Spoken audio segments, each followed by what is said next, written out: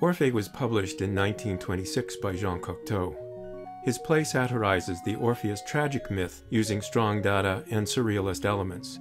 I directed the play in 1965 in Boston. These are photos I shot during a rehearsal.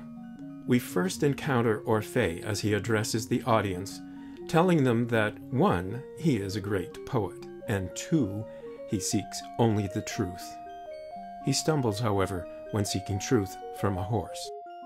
He is convinced that the horse uses his hooves to tap out secret messages.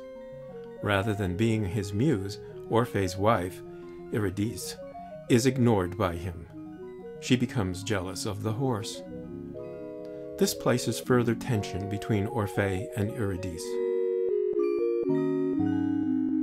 Orphée uses the horse's messages to create his poetry.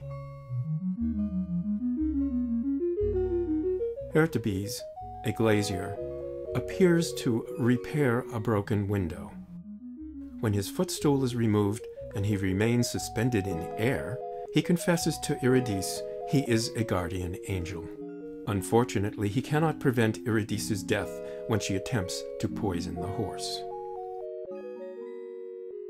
Death comes and performs an operation which removes Eurydice to the underworld.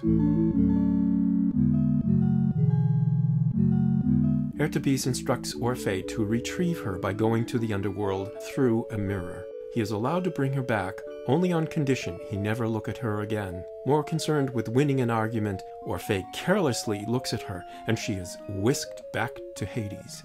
Heurtebise is appalled and says, You have killed a dead woman. Too late, Orphée realizes she is gone forever. Enraged by his bad poetry, Orphée is hung by the women known as the Bacchantes. The police inspector and his secretary come to sort out the murder of the poet. The inspector and the secretary also have an interesting relationship. Orphée's head is put on a pedestal, and it confesses to the police inspector that he is Jean Cocteau. Finally, death unites Orphée and Eurydice.